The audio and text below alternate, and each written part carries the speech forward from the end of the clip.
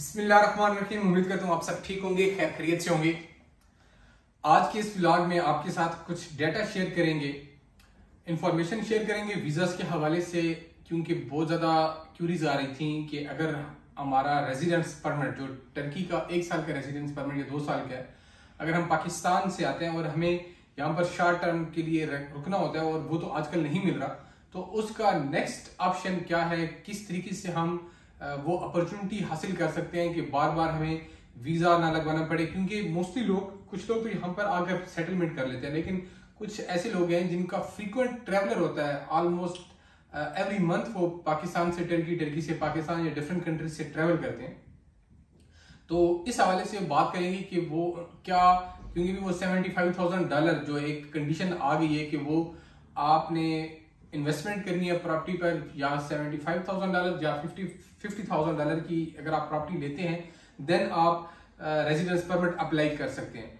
तो क्या best option बन सकता है? इसका अल्टरनेटिव सोल्यूशन क्या हो सकता है?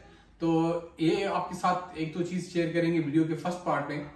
और वीडियो के सेकंड पार्ट में आपके साथ टूरिज़्म के हवाले से शेयर करेंगे कि जो लोग यहाँ पर just for the purpose of tourism आते हैं वो किन जगहों को विज़िट विज़िट कर सकते हैं और कि, कितने आपका पैकेज किस हिसाब से बन सकता है।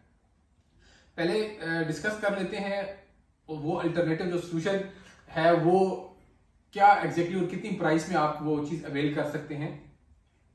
बेसिकली टर्की का एक लॉ है कि अगर आपने लास्ट थ्री ईयर से टर्की को विज़िट किया है तो अगेन आप ये अपॉर्चुनिटी हासिल कर सकते हैं कि टर्की का वन ईयर मल्टीपल वीज़ा आप अपने कंट्री से अप्लाई कर सकते हैं।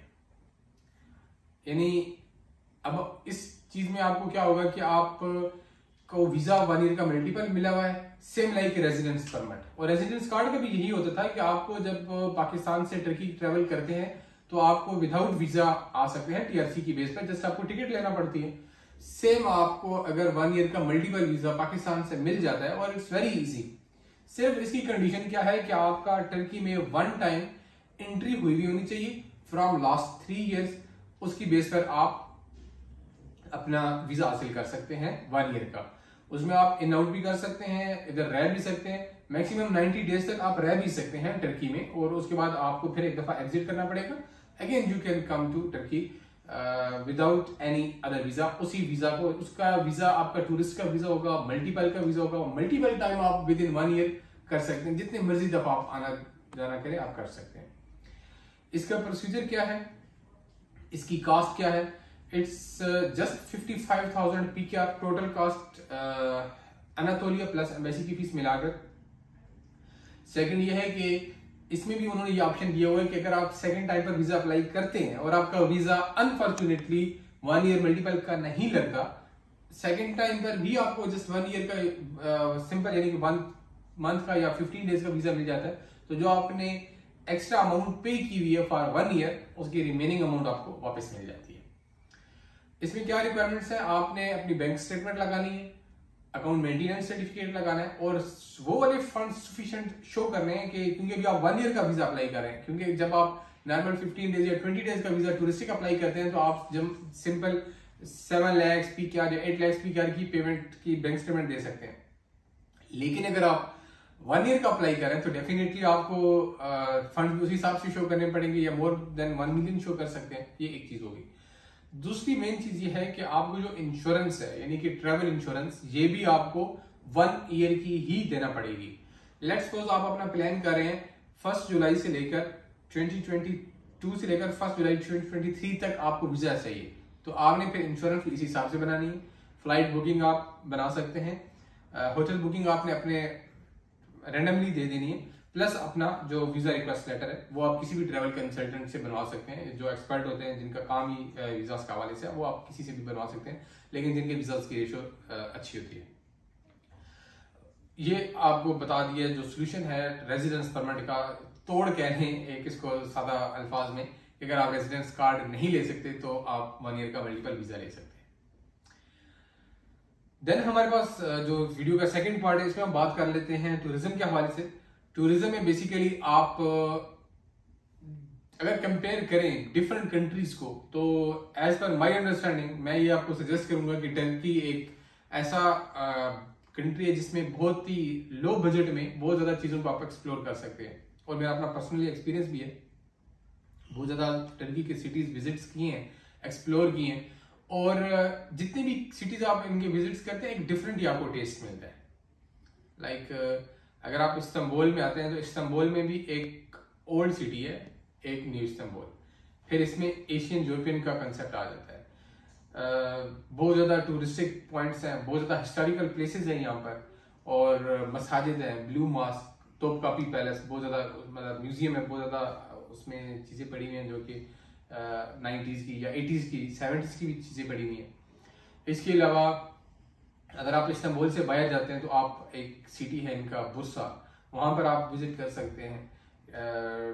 फिर एक सो जगह है जहाँ पर आपका अर्तुल के वहाँ पर मज़ार है। इसी तरीके से बुरसा में उस्मान जो है, उनका मज़ार है, उस्मान बिन। साथ में अगर आप आगे चले जाते हैं तो कैपेडोकियो को आप विज़िट कर सकते हैं, जिसमें आपका हार्ट एयर बैलून की जितनी भी एक्टिविटीज़ होती हैं, वहाँ पर भी बहुत ज़्यादा प्लेसेस हैं cities two to three days का आपका वो कवर हो जाता है पूरा कैपेडोकिया देन आप आगे कुनिया चले जाते हैं, कुनिया में मौलाना रूमी का मज़ार है, उसको आप विज़िट कर सकते हैं, ये भी आपकी एक या दो दिन की एक्टिविटीज़ है. देन आप अंतालिया में चले जाते हैं, अंतालिया में बहुत ज़्यादा बीचेस वगैरह हैं और कुछ पार्क्स वगैरह, वो आप विज़िट कर सकते हैं. फिर आप त्राबजुन चले जा सकते हैं देन आप पमू लिए जा सकते हैं। ये नहीं कि जितनी भी सिटीज़ हैं, एक डिफरेंट ही आपको टेस्ट मिलता है। ये नहीं है कि सेम सिर्फ़ बीचेस ही हैं या सिर्फ़ आपके नेचुरल प्लेसेस हैं या सिर्फ़ हिस्टोरिकल हर सिटी की एक अलग ही पहचान है। तो आप वो, यानी कि अगर आप टर्की का विज़िट करते हैं तो अपना टेन डेज़ का मिनिमम टाइम लेकर आए, ताकि टेन डेज़ के अंदर आपका ये complete six to seven eight cities cover हो जाते हैं।